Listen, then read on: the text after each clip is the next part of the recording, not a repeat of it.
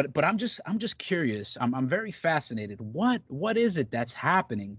You know, what is this pivotal moment? And you know, it, it seems based on your descriptions like the no going back, it's the arising and passing away. But like, what happens to somebody that they start meditating two hours a day, or they want to go on a Vipassana ten day retreat, or they're just like not like the you know relative reality is just not doing it for them. They're just you know they know that they're on that. What is this? What is is this the arising and passing away?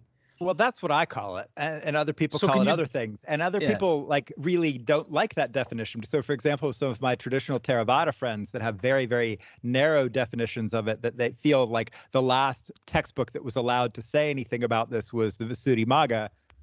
You know, that, that uh, this old book, you know, from about 1500 years ago was the last word and will be the last word till the end of time on what these stages are and how they're defined.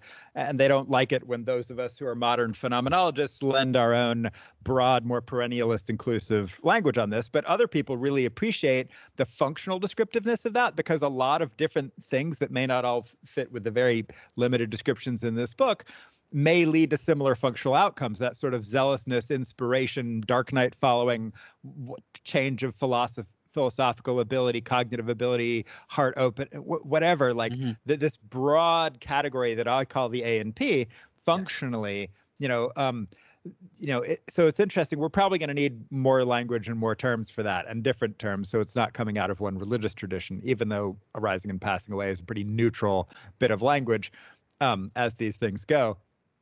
Um, but like, what is it?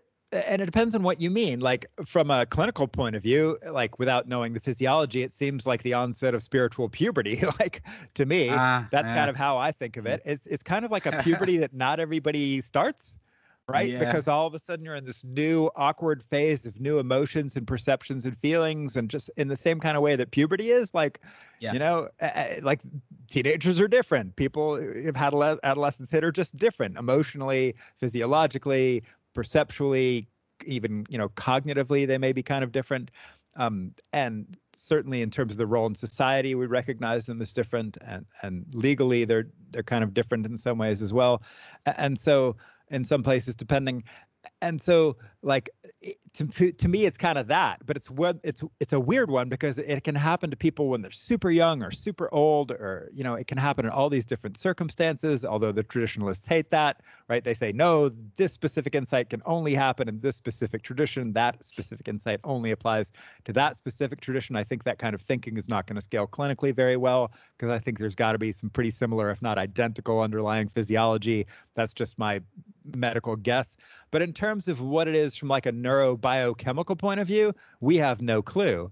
Um, mm. Nobody knows. Like nobody's captured this stuff with enough imaging to or enough sophisticated measurement to get a sense of what it is biologically. Yeah. But one of the things we actually want to do as part of the EPRC project, the Emergent Phenomenology Research Consortium, one of the sort of crowning jewel projects in our in our hat, if we can pull it off, is is something called the Emergence Research Center, where we would actually have a fully functioning retreat center where people could do and do a ra- come and do a range of practices, eh, you know, in pretty high dose and then have an fMRI with 24/7 techs and EEG and other biochemical measurement, wet lab, epigenetic, et cetera, capabilities, and qualitative and quantitative research of biometrics and how these people describe stuff and cognitive testing and, and all the stuff you would need from a lot of angles, kind of all the angles we have. And then you know long-term follow-up of these people to see what happens to them out in society after they've had these experiences and also comparative to get to get a sense of how each of the traditions are diagnosing this and managing this and to,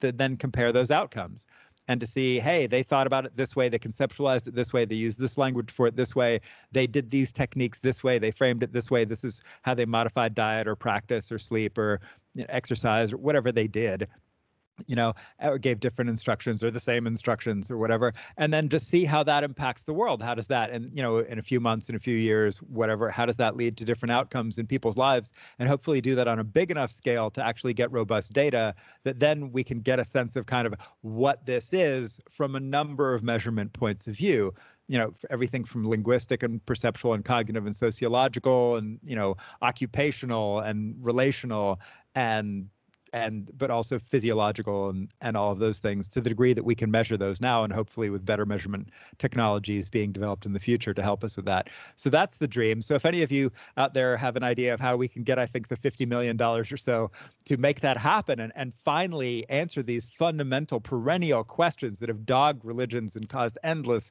sectarian pissing matches for um, you know thousands of years i think we actually now have an ability to to get a sense of what these things are in at least more functional clinical biochemical terms. Not that that's going to be the end of the story. And and plenty of people who say well you can't measure consciousness.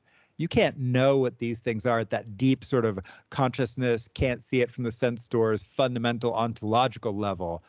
And they may be right but I think functionally and clinically, what is the role of pharmacology? What are various management and cultivation strategies and, and all those kinds of things? That I think we can know something about, even if it's definitely not the whole picture.